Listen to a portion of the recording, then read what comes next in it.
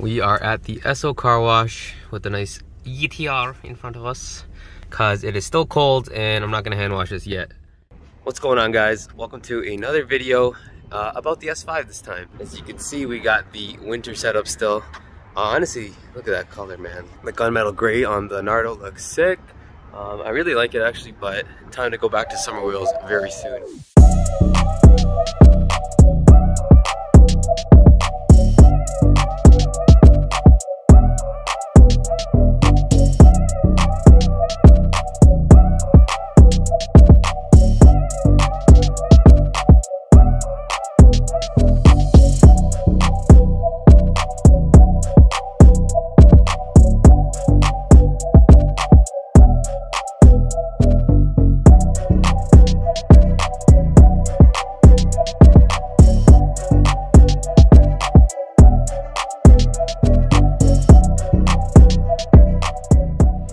Pretty much going to be given an overview of how the car is and how the car was to own. I've driven this car a ton. I've already put like 20k on it uh, in like eight months or so, and you know it's been great. It's running super reliable. It's comfortable. It's quiet inside, and I uh, have some exhaust work, as you guys know. But I'm gonna give you guys an exhaust sound real quick. Uh, I really think I need to swap out my flex pipes. So like my uh, the down pipes after the cats or no cats.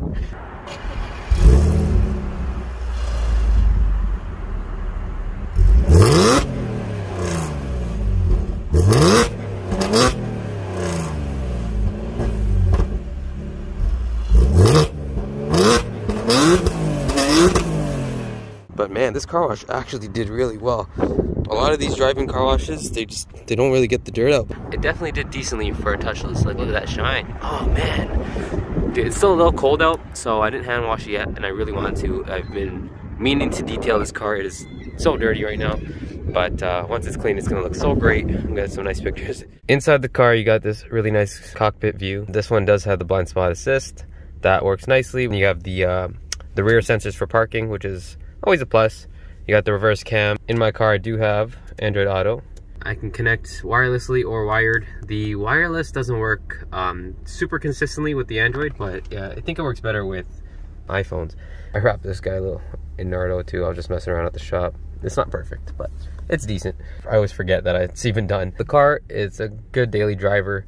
Uh, this car is sitting at 107,000 kilometers and it's a 2015 if you've seen the videos of me building the car, you would know it's a salvage car. Well, not really a salvage car, it's a vandalized car. It was fully keyed all around. So check out the video if you haven't. And like and subscribe to the channel because that helps me a ton. And I would definitely appreciate that. I am missing that third pedal, unfortunately. Um, but you know what? This car is, I guess it's a decent daily. I don't need the manual. I do have the Eclipse now, which is great. And the DSG is like probably the best transmission I've ever been in.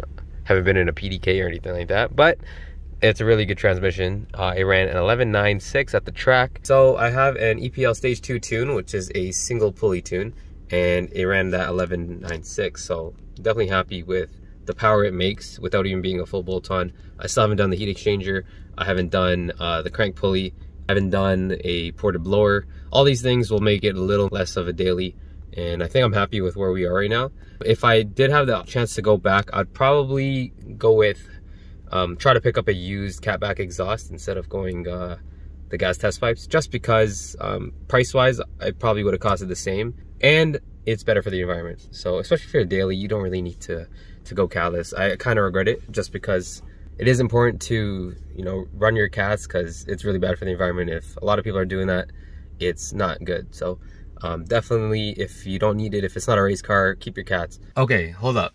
Uh, I forgot one thing in the last video. So another big part of these cars, the, the B8.5 Gen um, S, S cars, is that the stock cats aren't the most reliable. So even with a stock car, there's cars that have had the cats blown and you know that could cause a lot of problems, especially if it gets stuck in the uh, exhaust. You can get an overheating engine. Uh, if the exhaust fumes have nowhere to go, then you know you're in trouble. So especially when you tune the car, this the chance of this goes up and that's a major preventative maintenance that I did by going catless And actually, that is one of the reasons that I did choose to go the uh, catless route. So once again, if I did have a choice to do it again, I I don't know, man. Like I probably would go catless just to be on the safe side. So if you do plan to tune it, then I would definitely suggest going catless.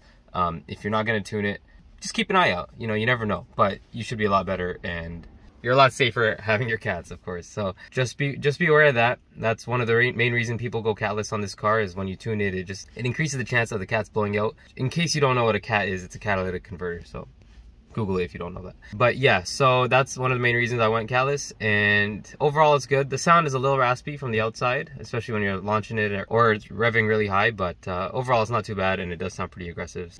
But it would definitely pair with a nice exhaust. It just might be really loud. So if you don't really like super loud cars, then I don't know what I would suggest for that, but you can always add a muffler. You can definitely get a valved exhaust or stick with the stock exhaust. It does sound pretty decent and it's really quiet when you're not pushing on it. So that is probably the best thing you can do if you want to tune it, but still stay quiet. Yeah, having a nice exhaust gives you a better overall sound. This one does sound pretty good though. And with the stock exhaust, with the test pipes, it's good. There's a little bit of a rattle on the uh, downpipes after the cat, so I'm not sure what that is. You might need to replace that piece and see if that helps. Maybe it's a flow thing. Uh, I'm not sure, but I had it since I had the car, so uh, maybe the flex pipes are going or something like that. The interior is sick. Uh, the seats are so comfortable, honestly. Just you want an S car in your life because they're really nice. The, the seats here are the Panda seats and the sport seats and they hug you. They're really good. If you're tall, if you're wide, it, they fit really well and they're really comfortable. So they're good for long drives. Uh, the car is super smooth and it just delivers power really nicely. Top end, uh, power wise, it's it's decent. It's not like a crazy V8 or something, but uh, the, this is a pretty powerful car. Uh, I think I'm in the 400s uh, wheel horsepower. It'd be nice to get it dynoed. Costs around 120 bucks. I don't know if I really care to do it, but I kind of want to. If, if a lot of people, or how about this? If I get like 100 likes on this video, I will go get a dyno right away. So if you want to see a dyno run for this EPL Stage 2 tune, I'll run 93 octane or maybe a little bit of ethanol, um, which uh, the tuner did say will help. I'll run 93 and then I'll add the ethanol in after. So 100 likes, I know that's I've never got that before, so I don't expect to get it, and that's why I'm doing 100. But uh, if you want to see that, now I'll know. And just let me know in the comments because uh, that'll definitely help if I see people actually interested in that if you've seen the videos, you know I have this issue here. That is a common issue. A lot of people with A5s and S5s have this issue where the sunscreen gets caught and then it just gets ruined. I haven't replaced mine yet. I actually had a parts car and I didn't know how to remove this stupid thing. I tried getting it from the inside, but you need to get it from the outside and I scrapped it before I had the chance. I totally regret that because it's like a $1,000 from the dealer. Don't mind the filthy engine bay. Can't really tell too much, but uh, that's what it looks like. We got the V6.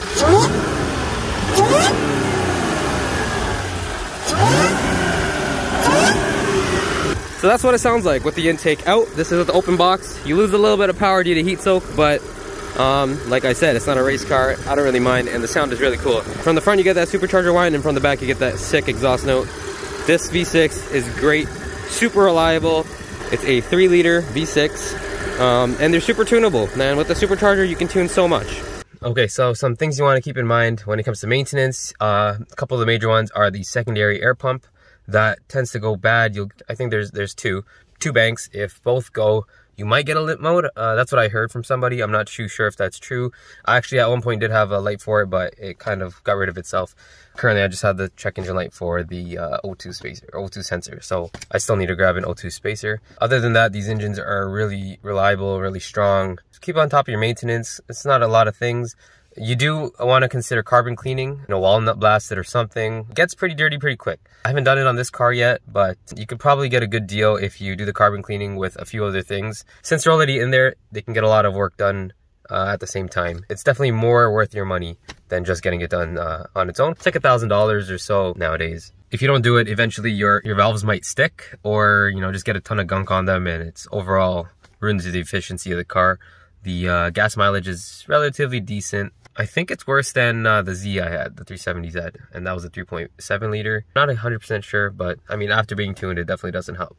Uh, I was tuned on that car as well, and I did lose some some gas mileage when I tuned it. Uh, those are like honestly the two like major things you need to do with this car. Just worry about the secondary air pump. It's not a major issue, but the thing is to clean it. It's a lot of work. A lot of these cars, I think 2013 and earlier, you might be able to get it on the later models, but with the B8.5s, there's an actual TSB, like a service bulletin uh, warranty that would get it cleaned. If you get both banks for the secondary pump check engine light, if you get that before, I think 120,000 kilometers. So if you have this car and you have that issue, check with your dealer or check with Audi um, with your VIN. If you can get it done for free, then it's a big headache off your plate. Space in the car is decent. In the back, you don't have a ton of space uh, for your legs, but it's it's decent. I've had four people in here a few times. Uh, the trunk space is really good. It's really big, and you can put the both seats down, 60-40 split, and uh, put a lot in the car uh, snowboards and all that. I do have roof racks as well. I was gonna get a roof box on top. I haven't got that yet. I actually got the ski rack because I just thought it'd look cool. I've been running that a bit, but I'll probably get rid of that and just get a box down the line. I don't like running the roof rails on this because it makes a lot of noise, wind noise, and there's a lot more air resistance and stuff. So I took it off, especially when it's not winter. You don't really need it if you're not gonna use it. So, so the MMI, which is the multimedia system, it's pretty outdated. So let's go back to the normal stuff. Here we got the navigation. Like, look at that map. It looks like it's from 2005. and, you know, you got your telephone option, you got your radio, media. You can change your source. There's a lot of options you can do. You can go look into the car, which is pretty cool. So you can check out the car systems, uh, vehicle settings, all this little stuff. You can move the seat from here. Um, and then you can obviously have your service intervals on check. I wonder what my oil change says it's at. 7,600 kilometers. The standard oil change interval is like 15,000 kilometers, so I definitely don't do that. I go like 7,000, 8,000 max, and that's just because I haven't really been driving hard and driving much these days. I'm gonna do an oil change soon anyways. Overall, I mean, 15,000 probably is okay, but you definitely don't wanna do it, especially if you uh, push on the car at all. So yeah, you can also check the VIN.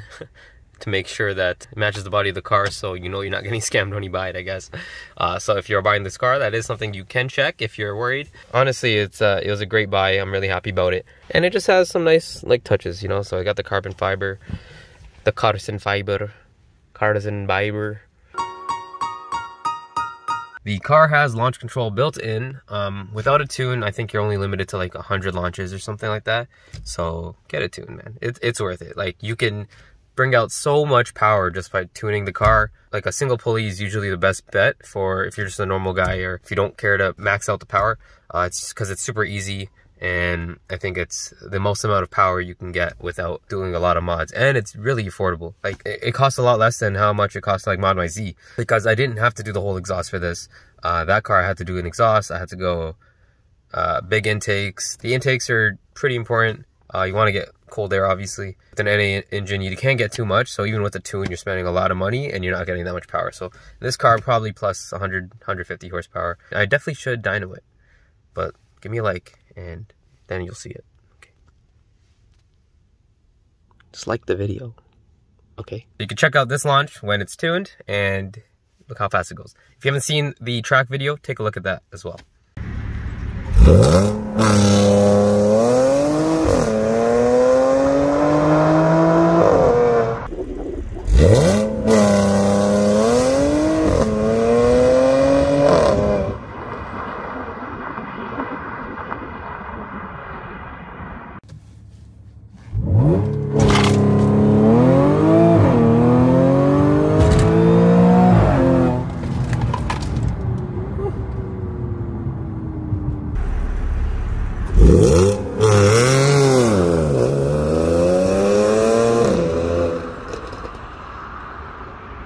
This car makes launching so easy.